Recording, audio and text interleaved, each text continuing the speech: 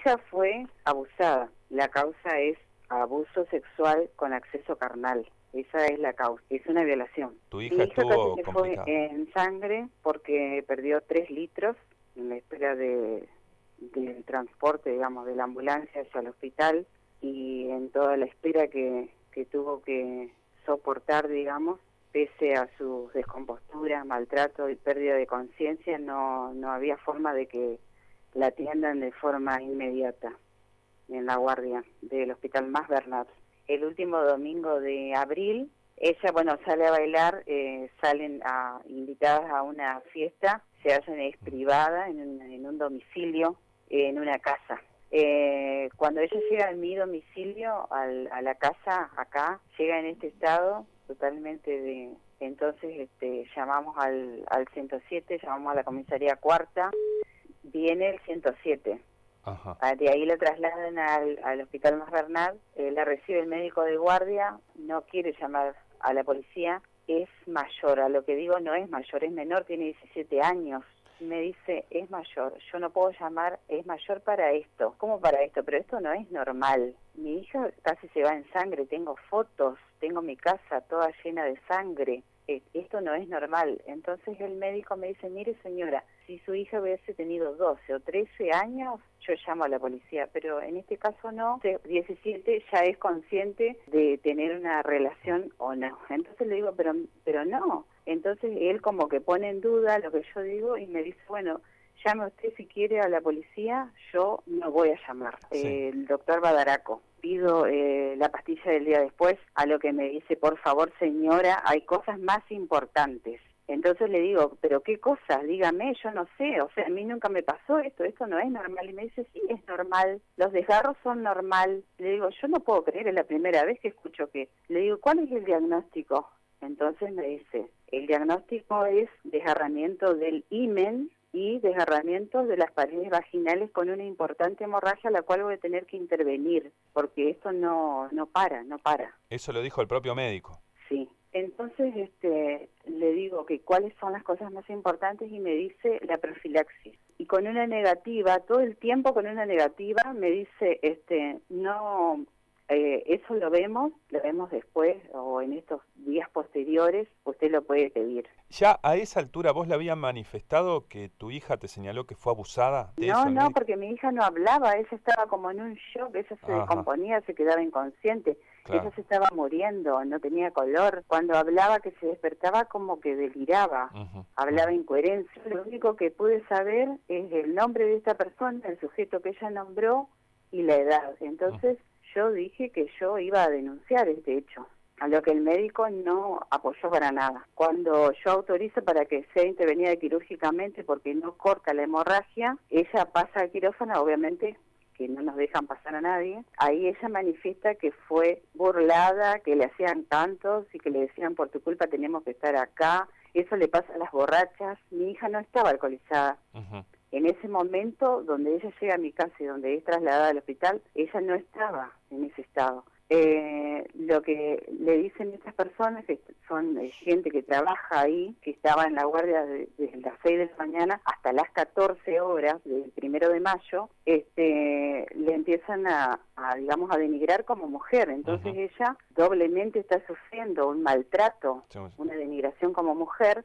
porque la están acusando y también la están prejuzgando, diciéndole cosas, cantándole cosas y burlándose y tratándola de borracha y que se, si le gusta la joda, que se joda, un montón de, de cosas que no que no tenían por qué decir. La parte humana, cero en el hospital.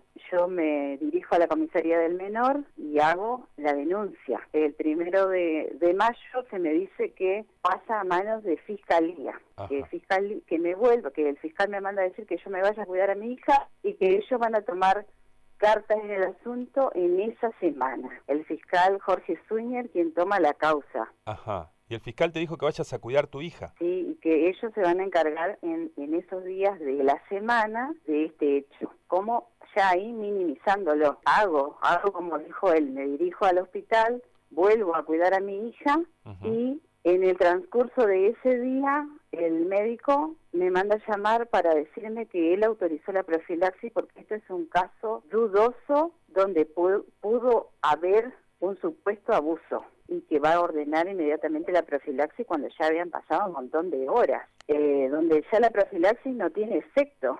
¿Es verdad que Eh, no, no se hallaba la pastilla del día después ahí en el hospital? A mí, me, a mí, o sea, lo que a mí me dijeron fue eso, que cuando la pedí, me dijo el médico que hay cosas más importantes, Ajá. o sea que él no me la dio. Lo que a la noche se presenta un policía, eh, me y me dice que él recién es notificado, me pide disculpas, que no sabe qué fue lo que pasó, que se manejaron mal en el hospital, que es una cosa de no creer. Él está en la guardia porque siempre tiene que ser eh, un policía por el tema de casos, donde se da a conocer, donde me dijo que se hizo todo mal el procedimiento. Entonces de ahí dicen que que vaya a ginecología. Hubo un, incumplimiento del protocolo de la institución. Tenía que comunicarle al policía, el policía tenía que llamar a la, comis- a la comisaría del menor, la comisaría del menor a fiscalía y de fiscalía mandar el forense para que tome las pruebas. Bueno, eso no se hizo, no se cumplió con eso.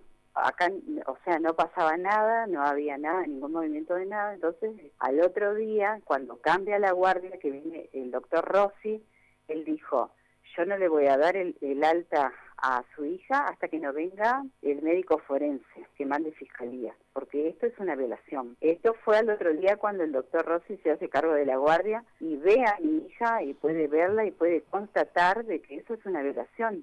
Entonces nos dirigimos a fiscalía, planteamos esto y de allá mandan inmediatamente un forense, el cual se entrevista con mi hija, no sé lo que dijo porque me sacaron afuera, después me pide la autorización a mí para hacerle una prueba eh, de todo su cuerpo, digamos, y de la parte ginecológica, Sí, sí. donde yo tengo que firmar y tengo que también presenciar ese hecho porque como testigo y ella es menor, eh, tuve que estar ahí viendo todo eso. Me dijo que no eh, se pueden tomar todas las muestras y que no era necesario hacerla pasar a mi hija por todo eso porque ella estaba sufriendo, estaba mal, ella estaba muy mal y que no era necesario, aparte que ya la, la- lo, lo principal se había borrado porque se procedió mal en el tema de que se tuvo que intervenir quirúrgicamente y no se y al hacer eso se desinfecta toda la zona y se borra toda la evidencia. O sea, se perdió posible. todo en lo de una primera instancia, digamos. Sí, eso sí.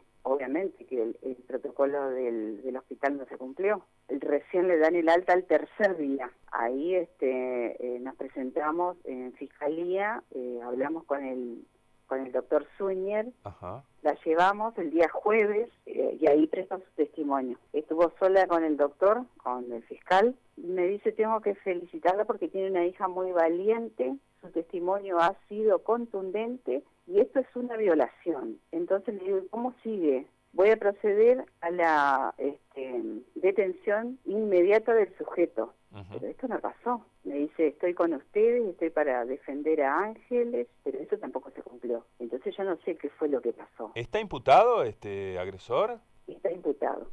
Está imputado. Lo único, se negó a declarar, tuvo la perdón, primera audiencia y en la audiencia se resuelven las medidas cautelares. Bien. La persona está libre, está yendo a trabajar como una persona totalmente normal. A ella el, el sujeto la- le dice vamos a, a comprar un jugo, entonces ella se va y ahí pasa lo que pasó, que hay una violación, porque desde el momento de que vos le decís a- al sujeto no y la persona sigue avanzando y bueno, esto es una violación. A una persona. Digo, ¿esta persona tenía alguna relación con tu hija? Ninguna, ninguna relación. ¿La conocía? ¿Se conocían previamente? No. Ella salió a acompañar al chico, que tengo entendido que era DJ o algo por el estilo de la- del evento. Sí, él y el, el hermano, eh, los amigos se dedican a, a eso. Estaban todos ahí, digamos, este, todos juntos, donde estaba su hermana y también sus amistades, Ajá. y hab- habían diferentes grupos.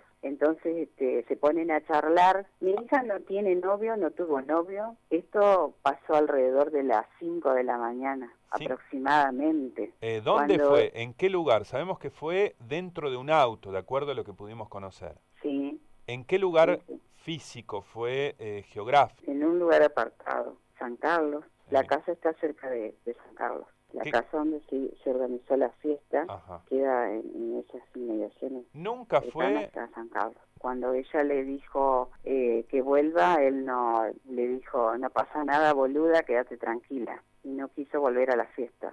Ella... Ella tomó como toma cualquier joven en una fiesta que sale a divertirse o a bailar o lo que sea. Ella tomó, pero ella este, cuando manifiesta, ¿no? Cuando ella relata que va en el auto, este sujeto le da una botella supuestamente que contenía agua. Eso no sabemos ni eso no, no lo podemos saber porque a ella no se le no se le hicieron todas las pruebas. Claro. Hay un testigo que directamente lo involucra el, a El imputado supuestamente mandó de manera rápida lavar el auto, digamos, para, para ocultar evidencias, una cosa Claro, sí, sí.